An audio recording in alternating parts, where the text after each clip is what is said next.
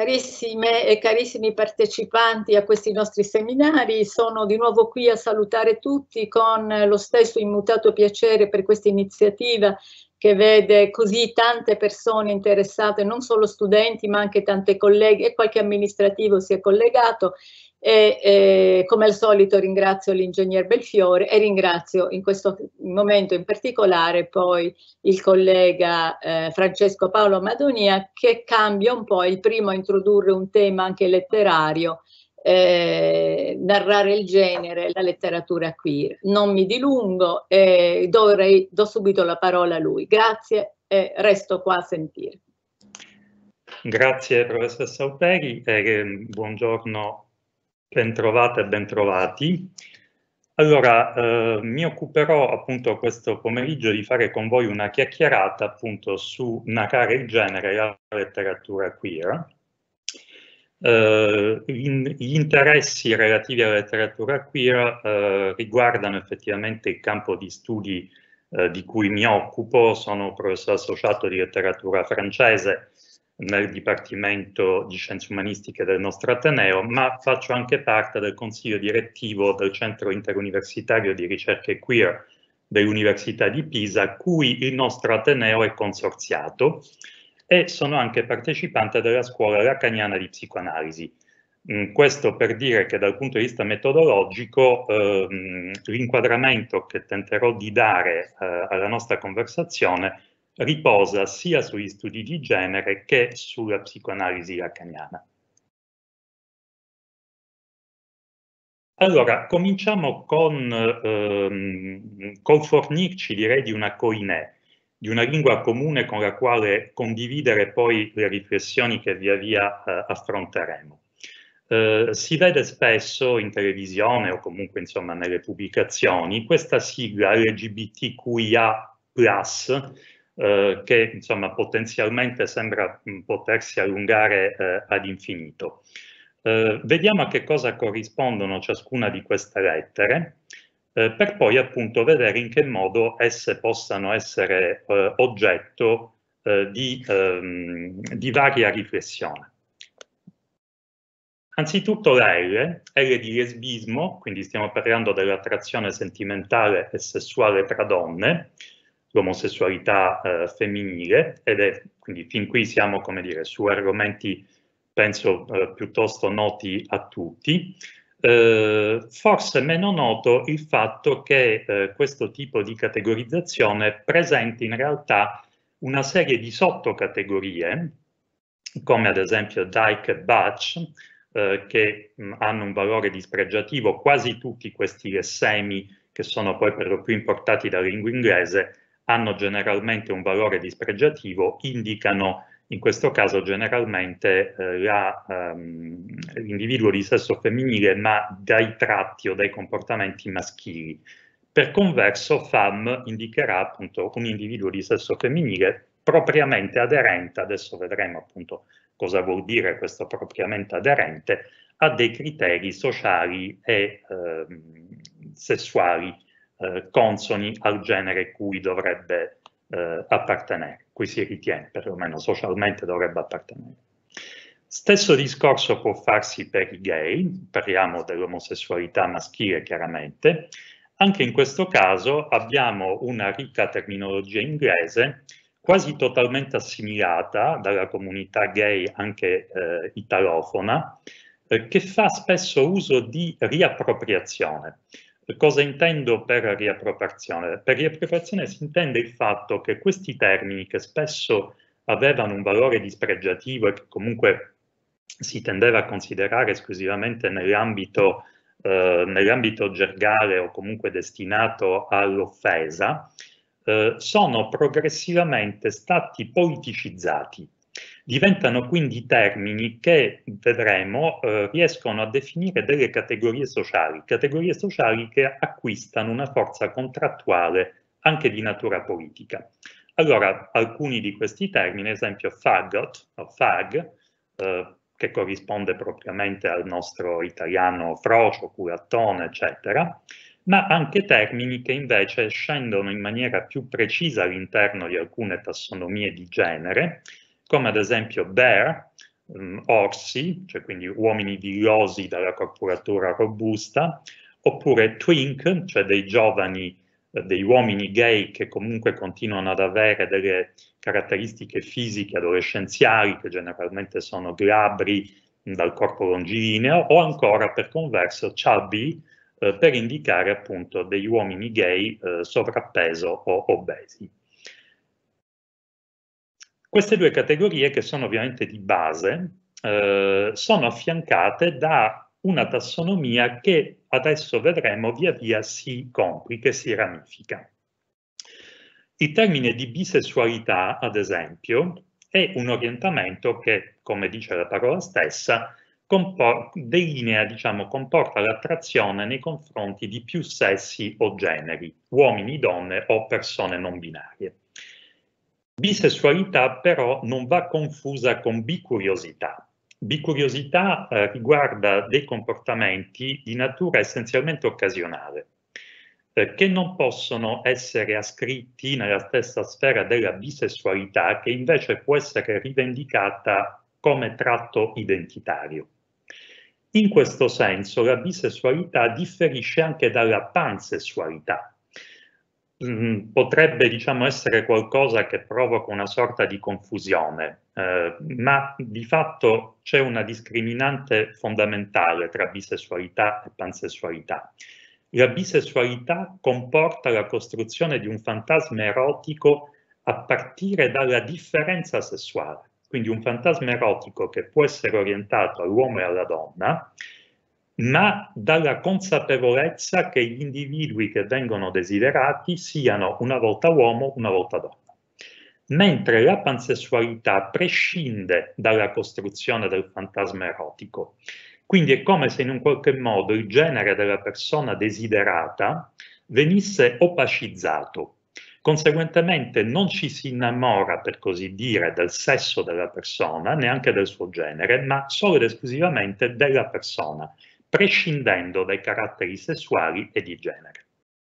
Ok, allora eh, perdonate l'interruzione, quindi abbiamo eh, detto eh, bisessualità, bicuriosità e pansessualità.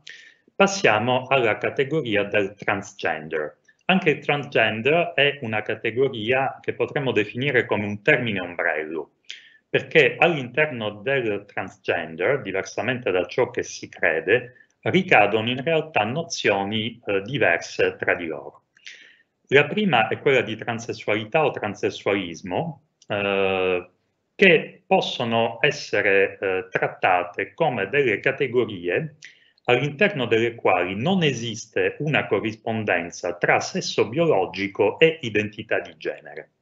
Questa assenza di corrispondenza eh, conduce spesso ad una, ad una patologizzazione della condizione dell'individuo, tanto che appunto all'interno dei manuali di classificazione psichiatrica si parla di disforia di genere. Col che ovviamente non intendo affatto dire che ci sia un, mm, una patologizzazione che corrisponda all'identità di queste persone, quanto piuttosto il fatto che la psichiatria, anche all'interno delle classificazioni più recenti, DSM-5 ad esempio, continua comunque ad includere la transessualità all'interno delle disforie di genere. Mm, Cosa implica eh, questa, eh, questa, categorizzazione? Beh, risponde effettivamente, al di là di criteri che potrebbero essere dettati dal pregiudizio, anche al fatto che la narrazione transgender effettivamente riguarda generalmente eh, degli individui che devono affrontare un iter di transizione che è normato da, disposi da dispositivi giuridici e medici. La transizione male to female, ad esempio female to male, sono delle operazioni che sono rigidamente regolamentate da apparati simbolici che ne sanciscono delle azioni tanto sul piano giuridico, cambio di stato civile ad esempio, quanto sul piano medico perché ovviamente intervengono delle operazioni chirurgiche che consentiranno di effettuare questo passaggio. Se andiamo alla slide successiva, notiamo invece appunto una, una, cosa diversa se parliamo in senso più ampio di identità non binarie. Quelle che classifichiamo come identità non binarie, avete, ho inserito due foto, eh, una di un personaggio molto famoso che è il Chevalier de Choisy, eh, che appunto è un, quello che avremmo definito all'epoca un travestito della eh, fine del 600 e dei primi del 700. Nel 700 ce n'è un altro che è un altrettanto famoso cavaliere Deon, ma ho anche inserito come esempio di persona non binaria, ad esempio quest'uomo, Mark Bryan, ingegnere americano che attualmente vive in Germania, eh, sposato e padre di eh, due o tre figli, eh, che vive la propria identità non binaria non come forma di disforia di genere, nel senso che effettivamente ciò che viene investito all'interno di questa categorizzazione identitaria è la costruzione sociale del genere. Quindi le persone che si identificano come non binarie sono persone che non richiederanno, nella maggior parte dei casi, eh, una transizione, quindi un'operazione chirurgica che riconduca all'altro sesso, ma che si limitano a costruire socialmente la propria immagine sociale con criteri che appartengono generalmente al sesso opposto. Possiamo andare alla slide successiva. L'intersessualità è invece una condizione diversa rispetto a quelle precedenti, perché l'intersessualità non può essere acquisita e dipende da fattori biologici. Di fatto l'intersessualità è mh, per alcuni la prova scientifica del fatto che i sessi non sono due, nel senso che individui intersessuali presentano caratteri sessuali primari o secondari, talvolta entrambi, che non sono definibili come esclusivamente maschili o femminili. Rappresentano una parte esigua della popolazione mondiale, ma vedremo che all'interno di una logica queer eh, l'intersessualità ha una importanza certamente molto grande. Possiamo cambiare slide? La asessualità corrisponde eh, non ad una scelta di vita. La sessualità su un piano identitario non è la scelta della castità o di una continenza sessuale. La sessualità è una vera e propria eh, identità che è caratterizzata dalla mancanza di interesse nei confronti di individui quale che sia il genere cui appartengono. Questo non vuol dire che l'individuo asessuale non provi desiderio sessuale o interesse per il sesso, ma prescinderà dalla presenza dell'altro, quale che sia il genere di appartenenza di quest'altro individuo. All'interno della asessualità esiste anche un'altra categoria, che è la cosiddetta demisessualità, che ne costituisce in qualche modo una variante attenuata. È demisessuale quell'individuo che per giungere a consumare un rapporto sessuale con un altro individuo dovrà accompagnare l'approccio fisico da, eh, dalla costruzione di una relazione intima e sentimentale che sia profonda ed emotivamente coinvolgente. Gli individui demisessuali rifiutano ovviamente le esperienze di sesso occasionali, come rifiutano una visione del sesso, ma a prescindere da una questione ideologica, ma proprio come assisa identitaria, eh, che faccia a meno di un profondo legame. Possiamo passare avanti? Nell'ambito degli studi di genere, un'altra eh, classificazione importante che consente di apprezzare eh, la sfera della diversità con cui il genere si manifesta è il cisgenderismo. È un individuo cisgender eh, un individuo in cui vi sia concordanza tra identità di genere e manifestazioni dello stesso individuo sul piano biologico, personale e sociale. Mm, per dire in parole più semplici, si tratta di un individuo che sente di appartenere tanto nel sesso quanto nel genere, quanto ancora nella rappresentazione sociale di sesso e genere, alla categoria nella quale si identifica. Erroneamente, tuttavia, talvolta cisgender diventa sinonimo di eterosessuale, il che è assolutamente sbagliato, perché un individuo cisgender può perfettamente avere un orientamento che non è necessariamente eterosessuale. È cisgender quell'individuo che appunto si sente, tra virgolette, sessualmente e sul piano del genere, della rappresentazione sociale maschio o femmina, ma che potrà provare attrazione sessuale per delle femmine o per dei maschi, indipendentemente, diciamo, dal fatto di essere cisgender. Possiamo andare avanti.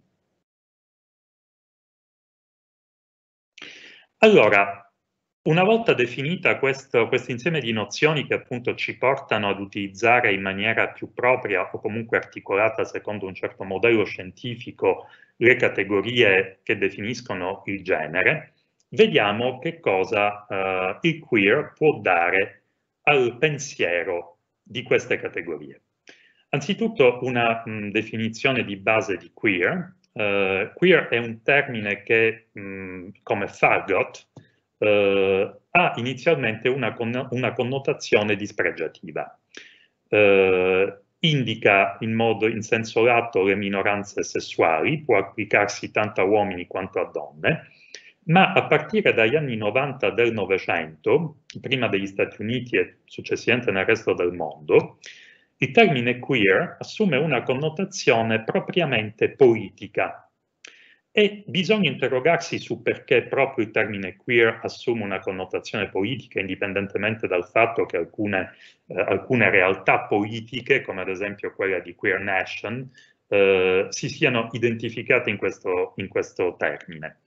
Eh, allora, breve digressione sul piano etimologico. L'inglese queer deriva eh, dall'aggettivo germanico ver, che vuol dire trasversale, diagonale, obliquo.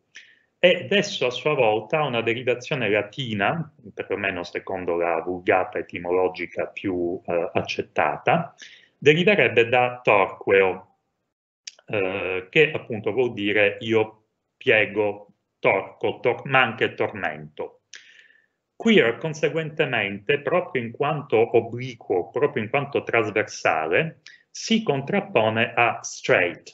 Straight nel linguaggio eh, in inglese, ma soprattutto prima negli Stati Uniti e poi in Inghilterra, è sinonimo di eterosessuale. Quindi straight è ciò che letteralmente è dritto, che è ortogonale, quindi la rettitudine sessuale, cioè il comportamento canonicamente e normativamente eterosessuale verrà definito straight, mentre tutto ciò che è incidente rispetto all'ortogonalità dello straight è per l'appunto queer. Possiamo andare avanti? Allora, se queer si contrappone a straight, Vuol dire che queer e LGBT sono sinonimi? Bene, la risposta è no.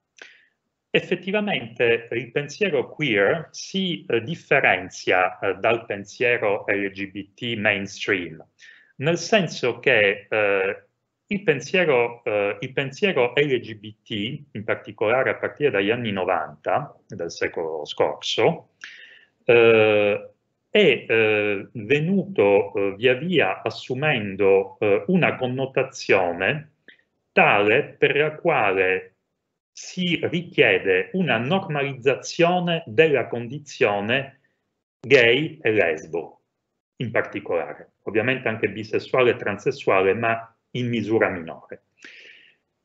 Cosa vuol dire? Che a partire dagli anni 90, ma ci sono delle attestazioni che addirittura risalgono a, mh, ad alcune realtà politico-sociali, quelle che erano definite dei club in particolare, già dagli anni 20-30 del Novecento, che propongono un'idea dell'individuo gay o lesbo, possibilmente bianco, benestante, normodotato, cisgender, è caratterizzato da espressioni fisiche sufficientemente virili o sufficientemente femminili. Sostanzialmente si tratta di una rappresentazione dell'omosessualità eh, resa commestibile, resa anche digeribile da una morale borghese. Eh, tanto che ovviamente alcune frange del movimento LGBT si oppongono a una visione di questo tipo che ovviamente eh, satura e sotto alcuni aspetti soffoca la carica eversiva del movimento. Non entro all'interno di questioni che potrebbero essere troppo tecniche, ma mi limito a dire che certamente un'accettazione di un'identità LGBT che prescinda da tutti quei caratteri che potrebbero essere fastidiosi per la morale borghese, chiaramente non può consentire una perequazione di genere. Chiaramente siamo certamente fuori da qualsiasi forma di bilancio di genere, se vogliamo il genere così come noi possiamo raffigurarcelo. È chiaro che la nozione di genere non può essere frutto di una negoziazione, ma può essere frutto soltanto di una accettazione piena della eh, diversità. Possiamo andare avanti. Il queer, quindi, eh, in un senso più lato, eh, quello che mi piace appunto definire queer in estensione, riguarderà eh, un ecosistema complesso di individui marginali o marginalizzati, perdenti, spostati, che chiedono tuttavia di essere considerati veri, esistenti e reali. Di fatto il queer può oggi identificarsi come tutto ciò che non è pienamente assimilabile, come tutto ciò che non è pienamente comprensibile che esce di fatto fuori da una performance di genere. Il genere è sostanzialmente, lo vedremo sia pure in maniera cursoria con alcuni dei teorici del queer che magari poi presenterò brevemente, eh, tutto ciò che riguarda la performance di genere, quindi ciò che mettiamo in scena letteralmente, perform, appunto, come dire, rappresentare anche a livello teatrale, eh, esce fuori dalla, dai canoni queer. Quindi il queer in fondo tende a smontare la performance di genere, quale che essa sia. Possiamo andare avanti. Allora, andiamo al tema che, eh, diciamo, eh, vi propongo adesso brevemente di affrontare relativamente alla letteratura. Fino ad ora, e comunque per larga parte degli studi letterari prodotti, eh, la letteratura, quella che si chiama letteratura queer, eh, funziona come un termine ombrello che eh, rappresenta eh, tutti i modelli e tutte le identità sessuali fuori dei canoni eteronormativi. Io propongo invece una quadripartizione di questa letteratura che tenti perlomeno, ecco, dico, non dico che diciamo, si tratti di una formulazione definitiva, ma un tentativo di ripartire eh, la, quella che appunto viene in maniera onnicomprensiva definita come letteratura queer, sotto quattro grandi categorie.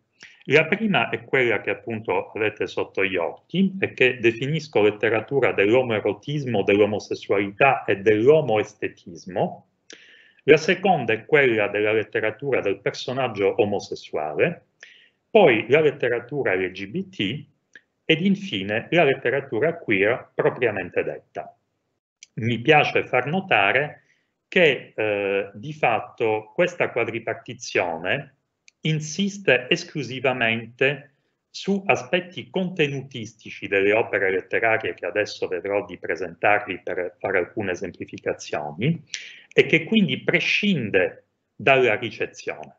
Sostanzialmente potrei avere delle opere che non presentano tematiche queer o LGBT, ma che, che, ma che siano invece recepite dal pubblico come queer o LGBT. Giusto per, eh, per intenderci, eh, alcuni personaggi, ad esempio della musica pop, eh, non so, pensate a Madonna, Lady Gaga eh, o Loretta Goggi, hanno assunto un carattere iconico rispetto alla comunità LGBT, senza che necessariamente queste figure pop eh, mettano in campo necessariamente dei concetti relativi ad un sentire queer.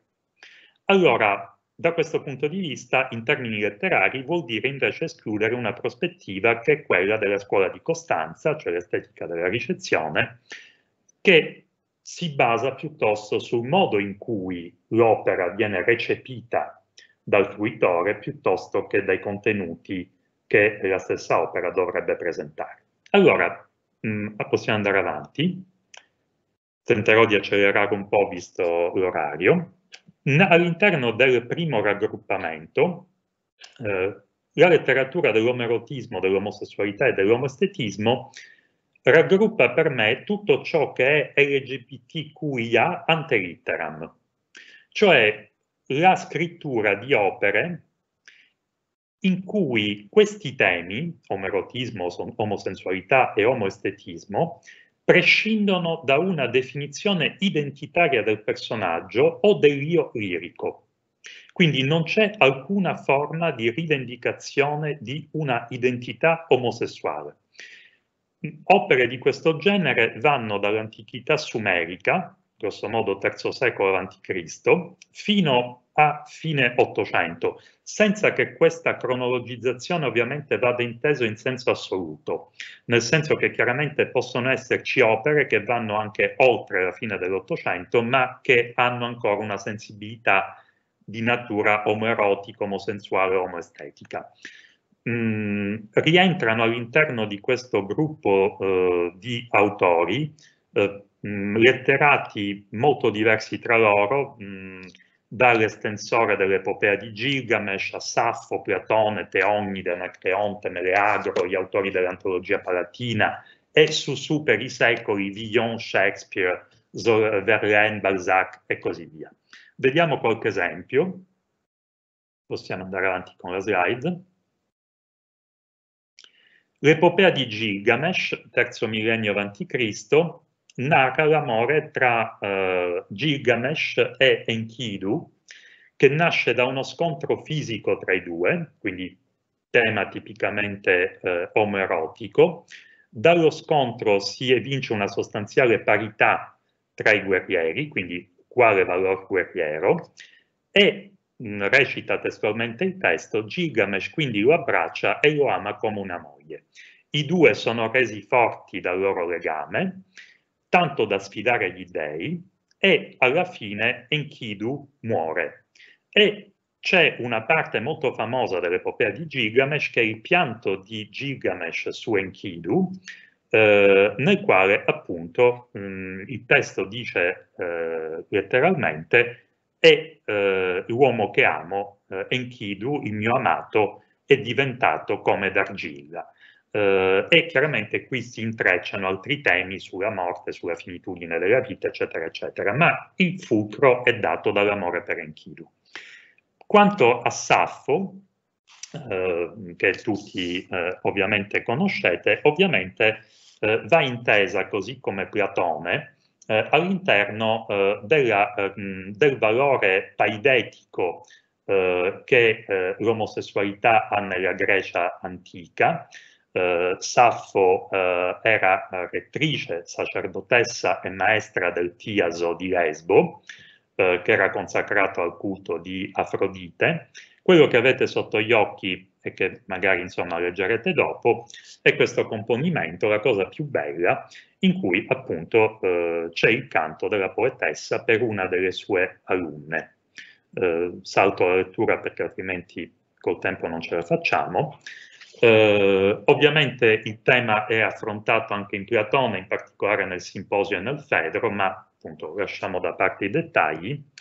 Eh, arrivando all'epoca del Rinascimento francese, grosso modo, François Villon, eh, un'opera eh, che eh, affronta su un registro più volgare il tema dell'omerotismo, eh, quindi con la eh, ballata in gergo omosessuale, le ballate in gergo omosessuale, possiamo andare avanti.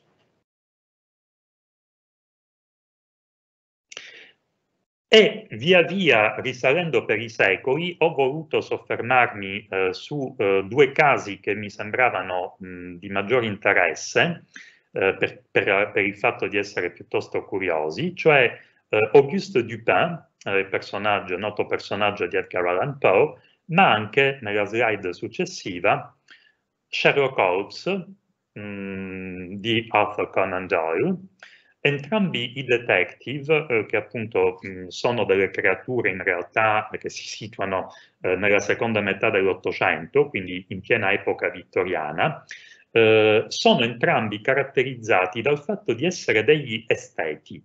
Eh, sono degli esteti, sono misogini, sono degli scapoli impenitenti e mh, in grossa sintesi racchiudono tutti gli stereotipi di età vittoriana che di fatto definiscono, eufemizzandola, l'identità eh, omosessuale, anche se si tratta di un'omosessualità ante litteram, ma diciamo all'interno di un comportamento omosessuale, così come lo definiremmo noi. Andiamo avanti. La seconda categoria che propongo, e questo mi consente di precisare cosa intendo rispetto ad un personaggio omosessuale, eh, è quella che ho definito la letteratura del personaggio omosessuale. Personaggio omosessuale non è un'espressione mia, è un'espressione che desumo da Michel Foucault, il quale tanto nell'Histoire della follia, nella storia della follia, quanto nella eh, storia della sessualità, eh, in particolare nella volontà di sapere, eh, parla della creazione del personaggio omosessuale. Personaggio omosessuale che nasce per Foucault comincia diciamo, ad emergere verso il XVII secolo, ma che si concretizza in particolare a partire dal 1790, quando durante la rivoluzione francese assistiamo alla costituzione del Tribunale della Famiglia, il quale ha un effetto dirompente sui costumi sessuali dell'epoca e anticipa l'Ottocento nelle forme di intolleranza che saranno poi portate alla massima espressione dalla morale vittoriana. Il Tribunale della Famiglia di fatto confisca l'etica sessuale all'interno della moralità familiare, cioè non può esistere sessualità fuori della morale familiare.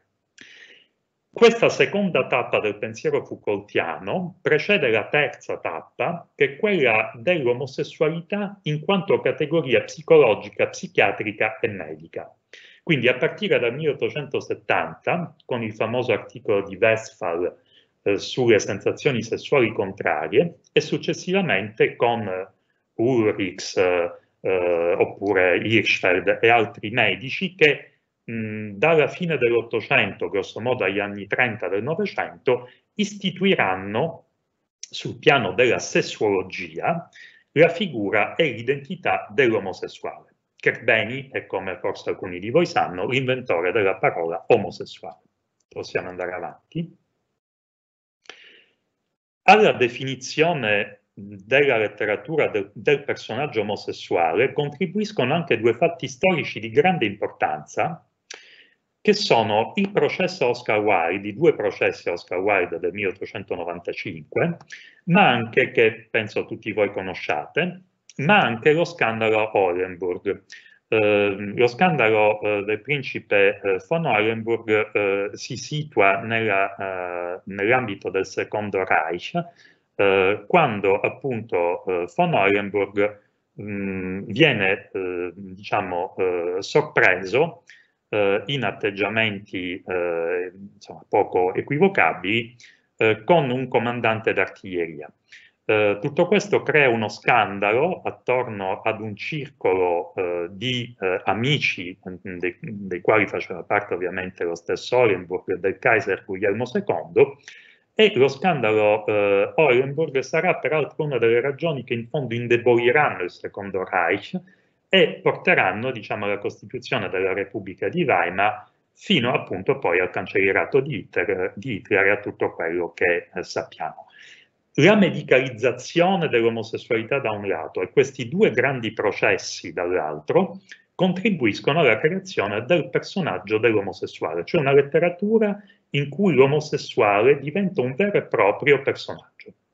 Allora, vado velocissimamente perché vedo che il tempo si accorcia uh, moltissimo, uh, sia pure in forme ancora estetizzanti e grecizzanti, la morte a Venezia di Thomas Mann con von Aschenbach potrebbe offrire in fondo una prima pallida illustrazione di questo tipo, possiamo andare avanti.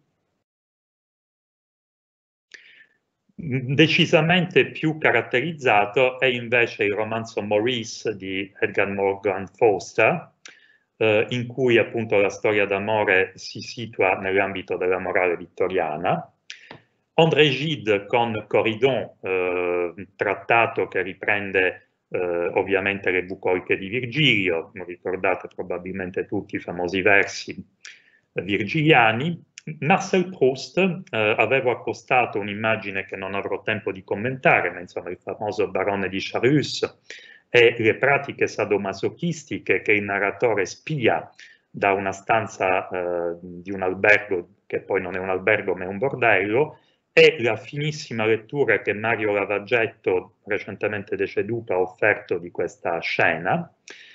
Jean Genet, eh, c'era anche qui un, un, filmato, ma insomma per un'altra volta, Jean Genet e Pasolini mettono, eh, slide successiva, Ehm, creano eh, una figura di omosessuale eh, più eh, caratterizzata da un punto di vista sociale. Eh, diciamo tanto in Genet quanto in Pasolini che scrivono in anni non troppo distanti l'uno dall'altro, ehm, l'omosessuale riceve una caratterizzazione, l'omosessuale come personaggio, riceve una caratterizzazione sociale che ehm, si lega soprattutto già a forme di marginalità sociale, quindi le borgate oppure i personaggi patibolari, eh, i carcerati di Genet, che richiamano peraltro anche delle nicchie eh, o dei camei narrativi, come ad esempio nell'isola di Arturo di Elsa Morante, eh, la relazione del padre di Arturo con il giovane eh, carcerato. Possiamo andare avanti.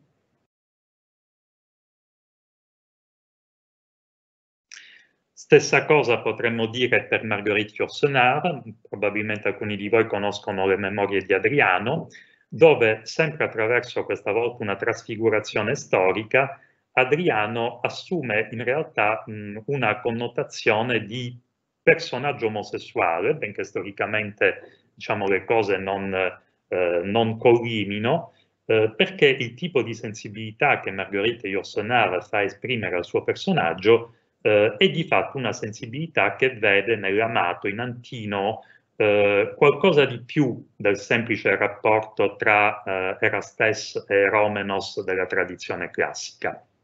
Possiamo andare avanti. Passiamo alla terza categoria, che è quella della letteratura LGBT eh, che si differenzia appunto dalla, dalla letteratura queer. La letteratura LGBT è una letteratura che nasce propriamente a partire dagli anni 90 e che tende a presentare dei modelli di omonormatività e di transnormatività. Queste narrazioni si caratterizzano per essere fortemente ehm, incentrate attorno all'espressione di drammi borghesi, di eh, episodi di coming out, di bromance adolescenziali, omogenitorialità, omofobia, romanzo storico o di formazione e riscrittura degli anni 80 e 90, una vera e propria ossessione, direi, della letteratura LGBT. Veloce carrellata su alcuni autori che hanno contribuito a, a mettere in piedi questa categoria letteraria. James Baldwin, con la stanza di Giovanni, romanzo che ha avuto un valore politico oltre che letterario perché ha aiutato a ripensare la condizione gay, possiamo andare avanti. Hervé Guibert, eh, tradotto in italiano, eh, inaugura il cosiddetto romanzo dell'AIDS, eh, lo stesso Guibert, che era molto amico di Foucault, anche egli morto di eh, HIV, eh, ha scritto un'opera eh, che ha creato tutto un genere letterario che è stato poi ripreso in scritture moderne come questa di Tristan Garcia, pure tradotta in italiano, La parte migliore degli uomini, o ancora andando avanti, dal recente Febbre di Jonathan Bazzi, finalista al premio Strega, che racconta la storia eh, della malattia.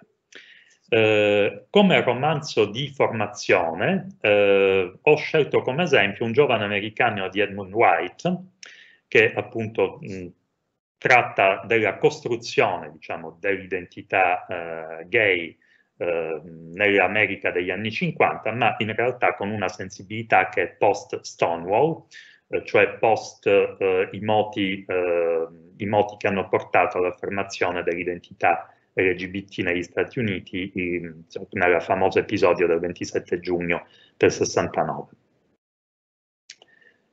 Mm, stessa cosa potremmo dire ancora sul coming out per David Levitt, la lingua perduta delle gru. Possiamo andare avanti. O ancora eh, Walter Citi, eh, tra gli scrittori italiani che probabilmente hanno meglio contribuito a eh, scavare all'interno della personalità eh, dell'omosessuale come personaggio, mentre il tema della omogenitorialità è eh, affrontato con grande delicatezza da Melania Mazzucco, ad esempio in questo 6 come 6 eh, del 2013. Infine, per quello che concerne eh, omofobia e bullismo omofobico, eh, il caso Edible Girl, tradotto in italiano, romanzo del 2014 in cui si narra, anche questo potrebbe essere considerato come una sorta di Bildungsroman, di romanzo di formazione, eh, che porta appunto alla, ehm, alla creazione di un'identità omosessuale a partire da un contesto, eh, da un contesto di periferia nel quale il giovane Edi è eh, bullizzato per la sua diversità. Possiamo andare avanti. Stessa cosa per Simon vs. The Homo Sapiens Agenda del 2015, ma vado avanti. E ancora per un altro romanzo di Edmund White, Il nostro caro ragazzo, 2016. Un'altra enclave narrativa che tenta di normalizzare la storia delle persecuzioni omosessuali è data dal romanzo dell'Omocausto, eh, che diciamo, si avvale di materiali storici per ricostruire qualcosa che non è mai esistito, e cioè la memoria della deportazione degli omosessuali. Eh, è una narrazione che in fondo cerca di colmare un vuoto su una costruzione identitaria che la storia ha reso impossibile. Possiamo andare avanti? Arriviamo alla quarta e ultima delle categorie che ho considerato, la letteratura queer. Eh, l'immagine che vedete è di un intellettuale italiano-milanese che eh, era molto noto negli anni 70 ma che oggi viene eh, ripreso per il suo eh, valore e per il carattere anticipatorio di alcune sue intuizioni, cioè Mario Mieli. Eh, Mario Mieli, personaggio di spicco eh, del fronte eh, di rivoluzione omosessuale, come in altre nazioni, Guillaume Canguem ad esempio in Francia o eh, i ragazzi di Queer Nation. Eh, la teoria queer, come eh, anticipavo, è contraria a qualsiasi forma di omonormativismo, di transnormativismo, eh, tra i teorici principali vi rimando certamente ad autori come Teresa de Lauretis, Judith Butler, eh, Paul Preziado e diversi altri. Un'attenzione che bisogna porre alla letteratura queer è relativa alla caratteristica di essere una letteratura che mette in scena delle pratiche sessuali marginali o marginalizzate. Allora, se vediamo appunto qualche caso, la slide mi ha eh, preceduto, quella di, eh, quella di William Burroughs, ad esempio, Ragazzi selvaggi è una sorta di distopia eh, gay in un ambiente, in una, in una, apocalittica fine del XX secolo, il testo è del, è del 71, eh, in cui mh, omosessualità, eh, droga e violenza estrema si intrecciano in una rappresentazione fuori da qualsiasi possibilità di, eh, di normalizzazione. Possiamo andare avanti. Eh, Pier Vittorio Tondelli è un altro esempio italiano che eh, può certamente essere classificato nell'ambito della letteratura queer e non certamente nell'ambito della letteratura gay. lo stesso Tondelli eh, rifiutava esplicitamente l'etichetta di autore gay, ma le sue storie contribuiscono invece, come in altri libertini, a costituire un'identità queer. L'esempio di Guillaume Dustin è un esempio di eh, scrittore eh, certamente fuori da qualsiasi regola, favorevole al barebaking, cioè rapporti sessuali non protetti, nel periodo in cui impazzava l'epidemia di HIV, anche egli è morto di AIDS. Eh, Marco Vidal è invece interessante per l'esposizione dell'unica pratica che completa la storia della sessualità di Michel Foucault o la psicopatologia se sexualis di Kraft Ebing, eh, e cioè mette in evidenza la pratica del fist fucking.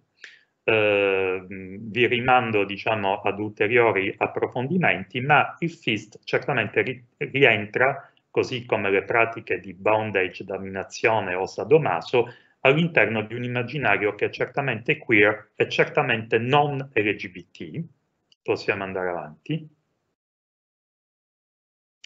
Infine, Sarah Kane, eh, per il teatro, eh, autrice di genio prematuramente scomparsa, eh, che ha portato all'estremo, direi, la rappresentazione della queerness, eh, la, il suo Blasted, Dannati, messo in scena nel 95, è stato il più grande scandalo delle scene londinesi del XX secolo, eh, si assiste in scena a stupri, cannibalismo e brutalità di vario tipo, così come in Crave, ultima sua opera, eh, i personaggi succhiano gli occhi l'uno dell'altro e cuociono alla griglia i loro genitali. Eh, si tratta ovviamente di immagini estremamente forti che vanno prese come, eh, chiaramente come allegorie eh, di una decostruzione del genere che non può e probabilmente non deve, per stirare sufficientemente le nostre coscienze abituate alla diversità, eh, prescindere dai canoni eteronormativi. Mi spiace, come dire, per il, per il fatto di essere stato sopraffiato, spero di aver eh, suscitato alcune curiosità. Ringrazio per l'attenzione tutte e tutti, ringrazio anche velocissimamente eh, Alessandro Di Liberto, mio studente che ha lavorato con me aiutandomi tecnicamente alla realizzazione delle slide. Uff! Grazie Alessandro, ringraziamo anche di nuovo per l'ennesima volta Carmelo Belfiore che questa volta anche... E doppiamente, mi piace per gli inconvenienti tecnici. Grazie, ho imparato tante cose e quindi poi, poi, in privato ne parliamo, ora purtroppo davvero il tempo è tiranno e sì, c'è l'altra relazione. Grazie Alessandro. Grazie a voi. Arrivederci. Ciao. Arrivederci.